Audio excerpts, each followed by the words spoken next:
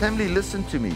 The things that are in your heart can be hazardous or those things can be helpful. Whether you help people or hurt people is determined by your heart. Christianity is all about the purity of your heart. Your heart will always reveal the true you, the thing that you value the most.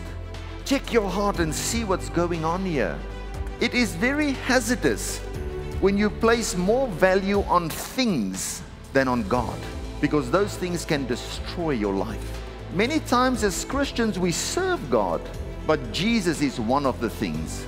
God wants to be the only thing. So you have to ask yourself have I given Jesus the rightful place in my heart?